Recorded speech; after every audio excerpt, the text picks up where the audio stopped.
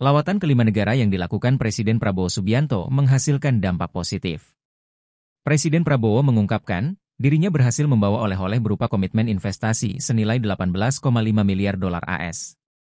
Rinciannya, 10 miliar dolar AS dari Cina, 7 miliar dolar AS dari British Petroleum, BP, dan 1,5 miliar dolar AS dari CEO Forum. Diketahui pada hari kedua di Inggris, Prabowo sempat bertemu dengan BP pada Kamis, 21 November 2024, pagi dan CEO Forum pada sore hari. Ditemui di Lancaster House, London, Kamis 21 November, Prabowo mengatakan, hasil tersebut melebihi target yang ditentukan. Prabowo berujar, perusahaan-perusahaan besar yang ditemuinya sangat ingin masuk ke Indonesia, meski sebagian besarnya sudah beroperasi di Indonesia sejak lama. Total ada 19 tokoh atau pemimpin beberapa perusahaan yang ia temui dalam CEO Roundtable Forum di Inggris.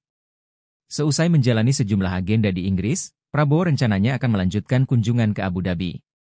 Tentunya ada sejumlah bahasan terkait kerja sama dua negara dalam kunjungan tersebut.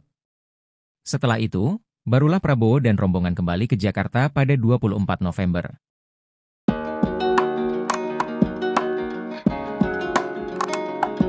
Download Tribun X sekarang, menghadirkan lokal menjadi Indonesia.